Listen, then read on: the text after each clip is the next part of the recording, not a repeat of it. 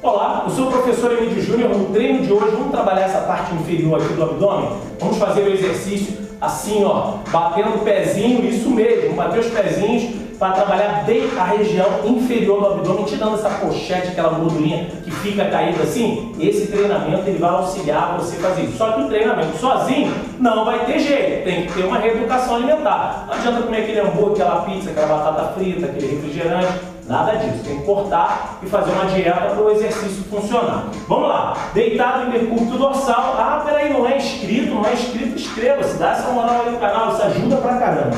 Vamos lá. Posicionou, deitado em decúbito dorsal. Faz a extensão de ambas as pernas e vai fazer só esse movimento aqui, ó. Só esse movimento. Não é flexionar a perna assim, não. Esse aqui já é outro. É esse aqui, perna esticada, estendida, só esse movimento. Alternando as pernas. Vamos embora. Ah, contrai esse abdômen. Vamos embora. Ah, dói tudo. É isso aí. Ah, foi. Parou? Parou não, vamos fazer mais uma série. Descansa 10 segundos. 10, 9, 8, 7, 6, 5, 4, 3, 2, 1. Preparou comigo? 1, 2, 3, 4. Não dá mais para contar. Ah! Vambora, acelera, acelera!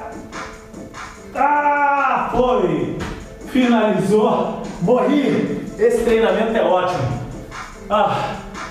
Faz aí, faz, faz. Antes de falar qualquer coisa, faça. Me diga quantas vezes você conseguiu fazer e repetir esse treinamento.